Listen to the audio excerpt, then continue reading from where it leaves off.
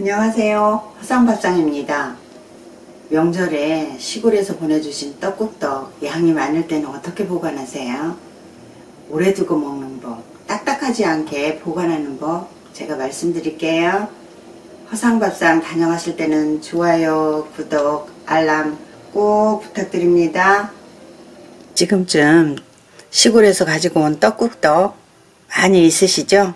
근데 이거를 냉장고에 보관하면 곰팡이가 생겨요. 곰팡이 생기지 않고 보드랍게 먹는 법 제가 알려드릴게요. 이렇게 맛있는 떡국떡이 있는데 지금은 이제 시골에서 빼서 장학관에서 빼서 얼마 되지 않아 갖고 부들부들합니다. 맛있게 보관하는 법은 첫 번째로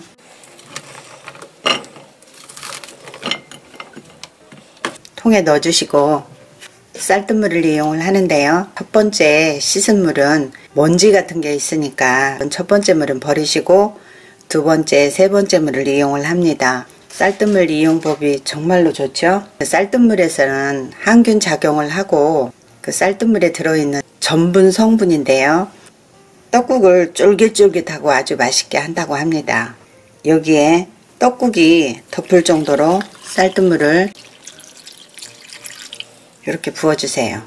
쌀뜨물에 항균 작용을 한다고 하지만 우리가 음식 할때 제일 많이 사용하는 거 소주 한 큰술을 부어주세요.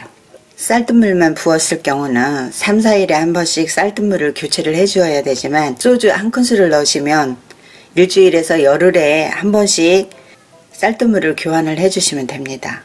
이렇게 해서 뚜껑을 이렇게 덮어서 냉장고에 보관을 하시면 돼요.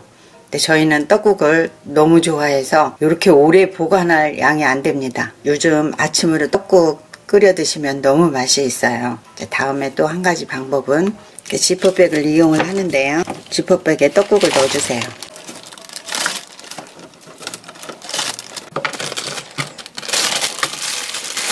여기에 제일 좋은 방법은 식용유. 한 큰술을 이렇게 넣어주세요. 떡에 식용유를 넣어주시면 떡국떡 겉면을 감싸고 있어서 떡국떡이 딱딱하게 변하지가 않아요. 방부제 역할을 하기 위해서 소주 한 큰술을 넣어주세요.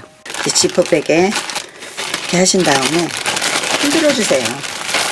그럼 다른 그릇에 식용유가 묻을 것도 없고 소주가 묻지도 않아요.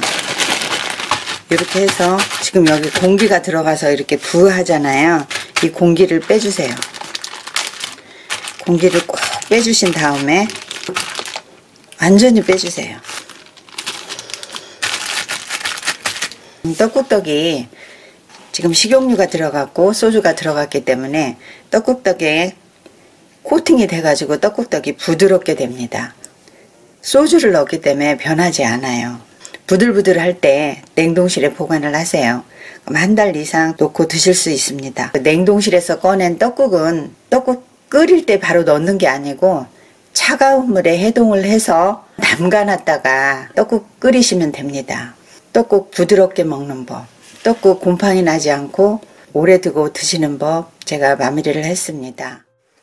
여유분으로 남은 떡국떡 보관하는 법 제가 두 가지 말씀을 드렸는데요. 변함없이 아주 부드럽게 드실 수 있습니다. 허상밥상 다녀가실 때는 좋아요, 구독, 알람 꼭 부탁드립니다. 시청해 주셔서 감사합니다. 행복하시고 건강하세요. 이렇게 하면 오래 드실 수 있습니다.